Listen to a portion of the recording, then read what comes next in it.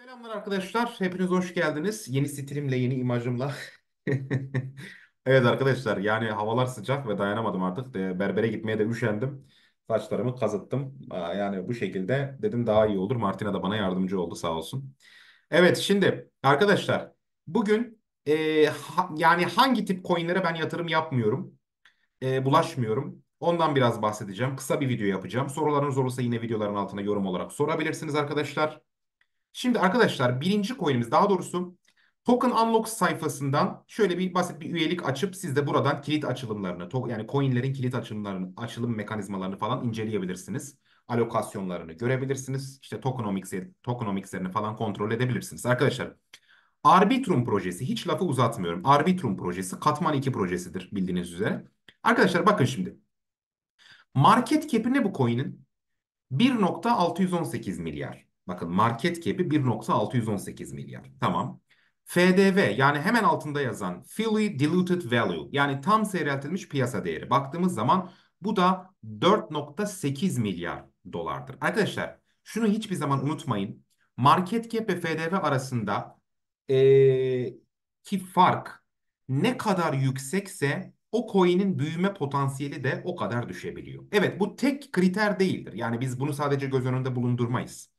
Bu tek kriter olmamalıdır. Ya mesela baktınız market ve market cap ve FDV arasındaki fark çok yüksek. E o zaman o proje dandiktir hadi kaçalım gidelim değil. Sonra bakacağınız kriterler var. Ama ilk adımda şöyle bir şey söyleyebilirim ki size bu ikisi arasındaki fark yüksek olmamalıdır.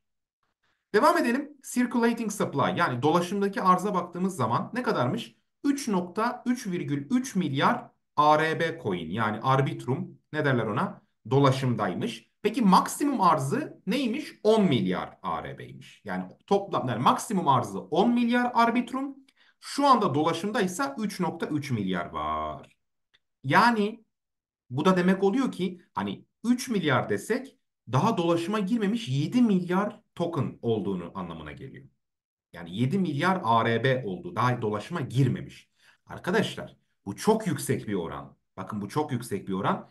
Bizler hayır kurumu değiliz. Biz parayı ağaçtan yerden toplamıyoruz. Lütfen yatırım yaparken neye yatırım yaptığınıza dikkat edin. Gerçekten neyi aldığınız o kadar önemli ki. Bakın tekrar söylüyorum. Neyi aldığınız o kadar önemli ki. Arbitrum aynı zamanda VC destekli yani girişim sermayesi destekli bir coin'dir. Biliyorsunuz bazı şirketler daha coin daha yeni kuruluş aşamasındayken yatırım yaparlar. VC destekli coin'lere de ben çok fazla bulaşmamaya çalışıyorum bu arada. O ayrı bir şey. Neyse devam edelim.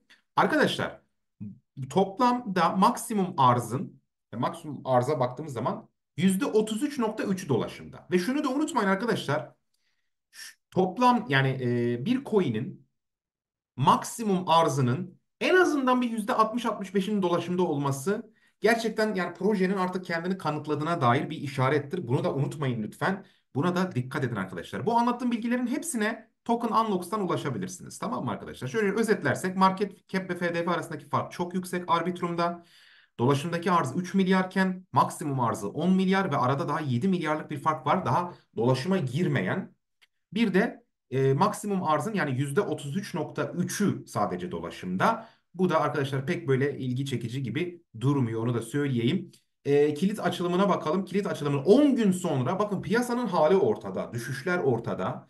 10 gün sonra 92.6 milyon adet Arbitrum piyasaya sürülecek. Arkadaşlar bakın bu coinlerin enflasyonun yükselmesine sebep olur değerinin düşmesine sebep olur.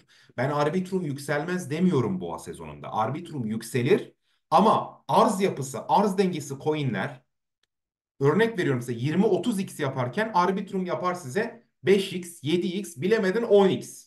Tamam mı? Bunun gibi düşünebilirsiniz yani. Bir de aşağı geliyorum. Arkadaşlar bakın kilit açılım mekanizmasına bakar mısınız Arbitrum'un? Sürekli bakın sürekli piyasaya token sürülüyor. Sürekli sürekli. Arkadaşlar bakın bu enflasyonu ciddi coin'in enflasyonunu ciddi şekilde arttırır. Bu bizim istediğimiz bir şey değildir aslında. Tamam mı? Evet Arbitrum'un yapmaya çalıştığı iş büyük bir iş. Yani özellikle Ethereum ağındaki ölçeklendirme problemini, hız problemini bunları çözmeye mesela çalışıyor, uğraşıyor. Tamam eyvallah buna lafım yok. Ama arkadaşlar bu arz dengesiyle, bu arz yapısıyla ben Arbitrum'u yatırım listeme maalesef almam. Onu da söylemiş olalım. İkinci coin'imiz ne? yan sekmeye geçiyorum. Aptos'a bakıyoruz arkadaşlar. Aptos'un market cap'i ne? 2.3 milyar dolar. FDV'si ne? 5.5 milyar. Yine bu da fazla arkadaşlar. Aradaki fark çok fazla. Çok fazla. İnsanlara ben bakıyorum. Aptos'ta Arbitrum. Aptos'ta Arbitrum. Arkadaşlar siz hiç yatırım yaptığınız şeyin arz durumuna bakmıyor musunuz ya? Ben hayret ediyorum yani insanlar ne kadar rahatlar ya. Yani hiç mi insan açıp bir arz dengesine bakmaz bir coin'in yani? Lütfen arkadaşlar para kolay kazanılmıyor. Onun için ne aldığınız tekrar ediyorum ne aldığınız o kadar önemli ki bunu unutmayın. Market cap'i 2.3 milyar, FDV'si 5.5 milyar. Arada yine bir uçurum var. Dolaşımdaki arza bakalım. 470 milyar Aptos ee, şu anda dolaşımda var. Ondan sonra e, daha doğrusu 470 milyon yanlış söyledim. Ee, maksimum arzı da sınırsız arkadaşlar. Maksimum arzın da sınırsız oluşunu çok istemeyiz ama her maksimum arzı sınırsız olan da kötü projedir demek e, istemiyorum. Yani hani her projede öyledir demek istemiyorum. Dediğim gibi yani illa market cap ile FDV'si arasındaki fark yüksek diye bir coin'e geçmeyin, es geçmeyin. Ya da işte maksimum arz sınırsız. Ethereum'un da maksimum arzı sınırsız. Ethereum dandik proje mi? Hayır asla. Devam edelim arkadaşlar. 6 gün sonra yine bir kilit açılımı var. 11.31 milyon Aptos piyasaya sürülecek arkadaşlar. Düşünebiliyor musunuz? Yani 11.31 milyon bu enflasyona. Bu zaten coinlerin şu an gidişatı iyi değil. Bu da böyle. Kilit açılımı, kilit açılım mekanizmasına baktığımız zaman ise arkadaşlar görüyor musunuz şurayı?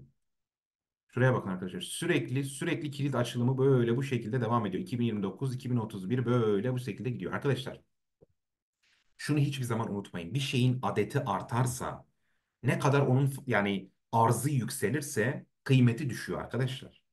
Ya bir şey düşünün yani bir kaleme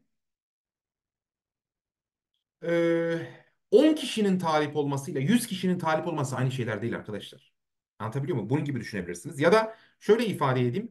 Bir şeyin sayısı ne kadar dediğim gibi yani sayısı ne kadar yükselirse bu onun çok kıymetli olacağı değil aksine değerinin düşeceği anlamına gelir. Aptos ve Arbitrum yükselmez demiyorum. Özünde aslında yapmak istedikleri şeyler de kötü şeyler değil. Ama ben yatırım yapar mıyım? Yapmam. Bu arada anlattığım hiçbir şey yatırım tavsiyesi değildir. Ben kripto paraların dediğim gibi %90'ının değil de %10'luk kısmının çalışan, e, güçlü e, bir ekosisteme sahip olduğunu, işte projelerin yani genel projelerin %10'unun e, yatırım yapıl- yapılabilecek e, şeyde olduğunu düşünüyorum. Dolayısıyla çok dikkatli olmanız lazım. Para kolay kazanılmıyor arkadaşlar. Böyle bir video yapmak istedim sizlere.